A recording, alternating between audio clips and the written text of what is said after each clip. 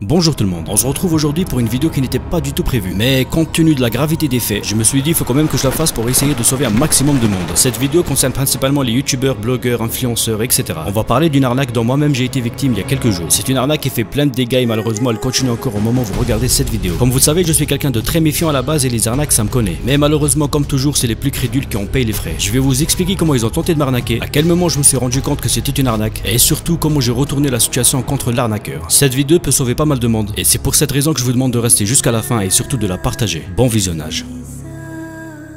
Tout a commencé le jeudi 5 décembre à 14h56. Je reçois un mail d'un certain Mike pour une demande de partenariat. Bon, jusqu'ici tout va bien, tous les youtubeurs en reçoivent régulièrement. Un message en anglais, en gros, il me dit Hello, je suis Mike, le représentant de la marque Wingewear. Nous avons créé un logiciel qui peut lancer n'importe quel jeu depuis votre ordinateur et on appelle ça du cloud gaming. Nous voulons commander une publicité sur votre chaîne et notre entreprise est prête à bien vous payer. Et il finit son message avec ceci n'est pas un spam. Leur système c'est un peu le même système que Shadow en France. Et étant quelqu'un de très méfiant, je repère quelques trucs louches dans sa proposition. À commencer par son adresse email. Un représentant d'une marque qui te contacte avec une adresse Gmail, c'est pas très pro. J'ai déjà travaillé avec des marques qui en général ce sont des adresses professionnelles, avec les mails de contact, un numéro de téléphone, etc. En général, avant de bosser avec une marque, je fais un minimum de recherche pour voir si c'est un truc sérieux, légal et surtout intéressant. Je tape le nom de sa marque dans Google et je trouve absolument rien. Après quelques recherches, je tombe sur son site internet. Ok, effectivement, c'est bien un truc de cloud gaming, il propose une large gamme de jeux vidéo. Mais il y a un truc qui m'intrigue. À aucun moment on trouve des informations sur les offres qu'il propose, etc. On peut pas les contacter, il n'y a pas de mention légale sur le site, il y a absolument rien. J'affiche le code source de la page pour voir en détail le site. Et là, surprise. Dès la première ligne, on comprend qu'on n'a pas affaire à un génie. Copied from son site de merde by Ciotech Webcopy. Ciotech Webcopy, c'est un logiciel qui permet de copier partiellement ou intégralement un site internet. Donc là, on a bien affaire à un mec qui a copié son site internet, c'est du phishing. Après quelques minutes de recherche, je tombe sur le vrai site, booster8.com. Là, on est sur le véritable site avec des informations sur les offres, des tarifs, des mentions légales, etc. Maintenant, je suis 100% sûr que c'est une arnaque. Comme d'habitude, je décide de le faire marcher et voir ce qu'il me propose. Et surtout comprendre l'arnaque, son fonctionnement pour mieux la dénoncer. Croyez-moi, vous allez être surpris. Je réponds à son email en disant que j'étais super intéressé. Et je lui demande même de me faire une proposition de prix pour la pub. Sorry, but will you agree to 800 dollars? Euh, bon, en gros, il me propose 800 dollars. Super content, je lui dis que c'est ok et je décide de lui poser la première question piège. Je lui demande tout simplement de m'envoyer un contrat et le brief de la campagne. Car en général, avec les marques sérieuses, il t'envoie un contrat plus un brief en général de 10 pages. Et là, les amis, accrochez-vous bien. Son vulgaire contrat se résume à un fichier texte de quelques lignes. Dans son fichier texte bourré de fautes car il devait certainement utiliser Google Traduction, il m'explique la marche à suivre. Aller sur son site, télécharger et installer un logiciel qui se trouve toujours sur son site. Et pour m'appâter, il me dit qu'une fois le programme installé, il me dit tu m'envoies tes identifiants et je t'envoie l'argent pour que je puisse acheter des jeux et essayer son programme. Et tout en bas dans son fichier texte, écoutez bien ce qu'il me demande de faire. Une fois le programme téléchargé, exécutez-le en tant qu'administrateur. Et si votre virus ou Windows Defender s'enflamme et vous dit que c'est un virus, ne vous inquiétez pas. Il suffit de les désactiver et relancer le programme.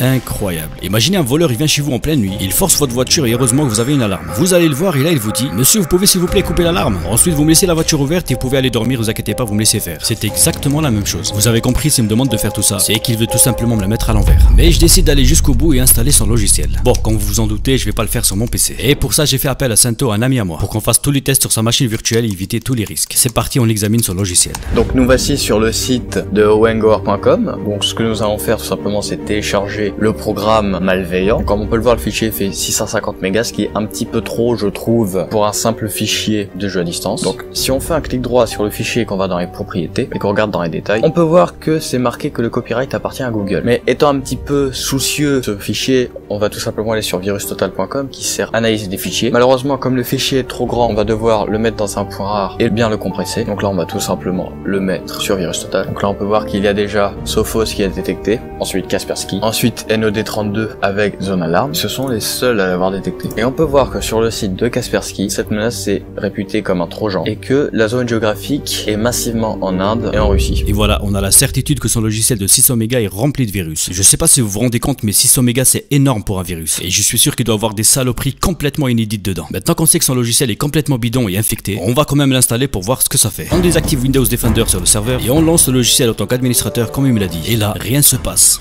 Rien ne s'ouvre rien ne s'installe. Mais par contre, le serveur commence un peu à s'exciter et on a remarqué un trafic anormal. Deux adresses IP qui pointent vers la Russie. Et les adresses IP correspondent à un serveur VPS où il doit héberger toute sa merde. Le programme il s'installe pas, il s'ouvre pas, mais par contre il s'exécute en tâche de fond et il récupère toute votre activité. Avec un keylogger qui récupère tout ce que vous tapez sur le PC, etc. Pour faire court et vous épargner toutes les recherches qu'on a faites, le type il agit bien depuis la Russie. Et on a même découvert qu'il avait plusieurs sites internet. Et tous ces sites proposent d'installer le même programme qui fait 600 mégas. On a également découvert, et malheureusement, que plein de youtubeurs et influenceurs principalement turcs sont tombés dans l'arnaque. Le pirate vos informations, vos mots de passe, etc. Il vous bloquera l'accès par exemple à votre chaîne YouTube ou compte Instagram contre une.